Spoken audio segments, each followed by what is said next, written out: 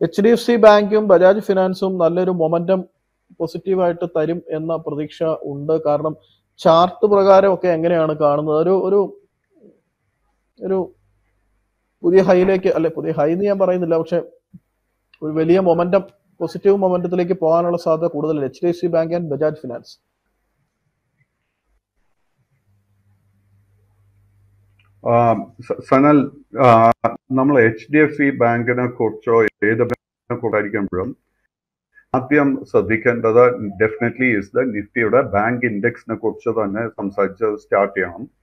So നിഫ്റ്റിയുടെ bank index എടുത്തു കഴിഞ്ഞാൽ മാർച്ച് മാസത്തിൽ അതിന്റെ lowest level thirty eight thousand eight hundred points ആയിരുന്നു. തേർട്ടി എയ്റ്റ് തൗസൻഡ് എയ്റ്റ് ഹൺഡ്രഡിൽ നിന്നും അത് നല്ലൊരു റിക്കവറിയാണ് നൽകിയിരിക്കുന്നത്.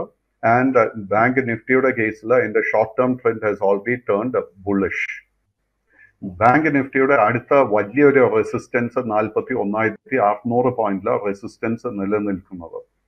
സോ നമുക്കിപ്പോ രണ്ട് മൂന്ന് രീതിയിൽ ഇത് പ്ലേ ഔട്ട് ചെയ്യാം. ഇപ്പോൾ ഒരു ട്രേഡർ ആണെങ്കിൽ ട്രേഡർ എന്താ ചെയ്യേണ്ടതെന്ന് വെച്ച് കഴിഞ്ഞാൽ forty one thousand six hundred points Nifty bank ഇൻഡെക്സിന്റെ resistance ആയിട്ട് കരുതിയിട്ട് വേണം ഒരു ഓപ്ഷൻസ് സ്ട്രാറ്റജി ഡെവലപ്പ് ചെയ്യാനായിട്ട്. ഈ ഒരു കോണ്ടെക്സ്റ്റിൽ നമ്മൾ പുട്ട് ഓപ്ഷൻസ് വാങ്ങിക്കാൻ ശ്രമിക്കരുത്. കാര്യം എന്താന്ന് വെച്ച് കഴിഞ്ഞാൽ Nifty bank ഇൻഡെക്സിന്റെ short term trend is very very bullish and at the same time നമ്മൾ തുടർച്ചയായിട്ട് നാല് ദിവസം നിഫ്റ്റി ബാങ്ക് ഇൻഡെക്സിലെ നേട്ടം കണ്ടിട്ടുണ്ട്. സോ നാച്ചുറലി ഇതിനെ തുടർന്ന് എന്താ സംഭവിച്ചു കാണുകയെന്ന് വെച്ച് കഴിഞ്ഞാൽ കോൾ ഓപ്ഷൻസിന്റെ പ്രീമിയം ഒത്തിരി ഒത്തിരി കൂടി കാണും. അപ്പൊ നമുക്ക് ഓൾറെഡി നമ്മുടെ കൈവശം ഈ are holding Nifty bank index manage ചെയ്യാനും അത് തക്ക സമയത്ത് അത് ക്ലോസ് ചെയ്യാനും ഉള്ള സ്ട്രാറ്റജി ഡെവലപ്പ് ചെയ്യുക. നമ്മളിപ്പോൾ ഇൻട്രാഡേ ഡേറ്റ പരിശോധിച്ചു കഴിഞ്ഞാൽ എഗെയിൻ മെഞ്ഞാമത്തെ ട്രേഡിംഗ് നോക്കിക്കഴിഞ്ഞാൽ നാൽപ്പതിനായിരത്തി ഇരുന്നൂറ് പോയിന്റിൽ നിന്നും നാൽപ്പതിനായിരത്തി എണ്ണൂറ് പോയിന്റിലോട്ട് again that's a two hundred point move without a correction so Nifty bank ഇൻഡെക്സിന്റെ കേസിൽ നമ്മളൊരു ഇൻട്രാഡേ ഒക്കെ നോക്കിക്കഴിഞ്ഞാൽ എനിക്ക് തോന്നുന്നു അതൊരു ഈസിക്ക് ഒരു ഫോർട്ടി തൗസൻഡ് ഫോർ ഹൺഡ്രഡ് പോയിന്റ്സിലോട്ട് റിയാക്ട് ചെയ്യാൻ നല്ല ചാൻസസ് ഉണ്ട്. ടു സ്പെസിഫിക് ആ ഒരു റിയാക്ഷൻ നടക്കുന്ന സമയത്തായിരിക്കണം നമ്മളിപ്പോ H D F C Axis bank I C I C bank bank of India മുതലായ സ്റ്റോക്സിലൊക്കെ ലോങ് പൊസിഷൻസ് കൺസിഡർ ചെയ്യേണ്ടത്. I don't think we should consider short positions specifically നമ്മളിപ്പോ എച്ച് ഡി എഫ് സി ബാങ്കിന്റെ case എടുത്തു കഴിഞ്ഞാൽ നാല് ദിവസം മുൻപ് എച്ച് ഡി എഫ് സി ബാങ്കിന്റെ ഒരു ക്യൂ ഫോർ അപ്ഡേറ്റ് നൽകിയിരുന്നു.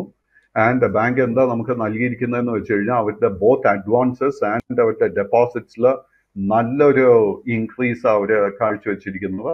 And naturally when the results announced I expect that H D F C bank കഴിഞ്ഞ എത്രയോ ക്വാർട്ടേഴ്സിൽ നൽകിയിരിക്കുന്ന അതേ ഫൈനാൻഷ്യൽ പെർഫോമൻസ് ആയിരിക്കും എഗെയിൻ കാഴ്ചവെക്കാൻ പോകുന്നത്.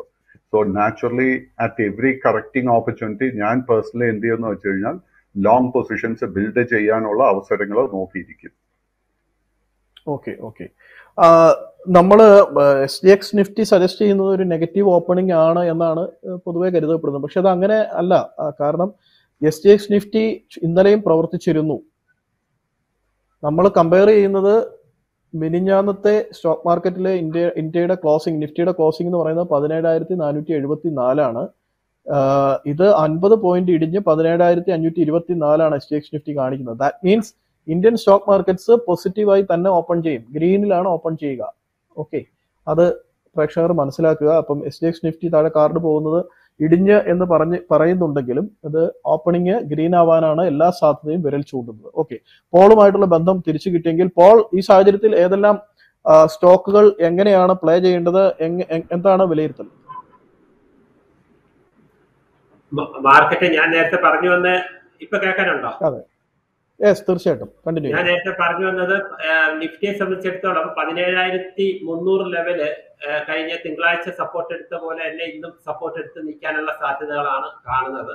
മാർക്കറ്റ് ഒരു തിരിച്ചു കയറ്റത്തിന്റെ ഒരു പാതയിൽ തന്നെയാണ് മറ്റേ മാർക്കറ്റിൽ ഷോർട്ടുകൾ ഉണ്ട് തീർച്ചയായും ബുൾസ് ഈ അവസരങ്ങൾ ഒരു നോർമലി ഒരു ബെയർസിനെ ഒരു ട്രാപ്പിലാക്കി പ്രത്യേകിച്ച് ഹോൾഡേഴ്സും കൂടെ വരുന്നത് കൊണ്ട് ബേസിൽ ട്രാപ്പിലാക്കി മേലോട്ട് കയറ്റാനുള്ള എല്ലാ സാധ്യതകളും ഉണ്ട്. അത് കഴിഞ്ഞ ദിവസം എക്സ്പെക്ട് ചെയ്തിരുന്നു. കാരണം തിങ്കളാഴ്ച നമുക്ക് എച്ച് എസ് സിഫ്റ്റി സോറി ചൊവ്വാഴ്ച എച്ച് എസ് സിഫ്റ്റി ഒരു നൂറ് പോയിന്റ് മുകളിൽ പോസിറ്റീവ് കാണിച്ചതാണ്. പക്ഷെ ഇന്നലെ ഡൗട്ട്സ് വന്നതുകൊണ്ട് അതൊന്ന് ഒന്ന് താഴും. എന്നാലും നേരത്തെ പറഞ്ഞ മാതിരി സെല്ലിൽ പറഞ്ഞ മാതിരി പോസിറ്റീവ് തന്നെയാണ് മാർക്കറ്റ് ഓപ്പൺ ചെയ്യാനുള്ള എല്ലാ സാധ്യതകളും ഉണ്ട് ഒരു പത്ത് നാൽപ്പത് പോയിന്റ് നിഫ്റ്റി മുകളിൽ തന്നെ ആയിരിക്കും ഓപ്പൺ ചെയ്യുന്നത്.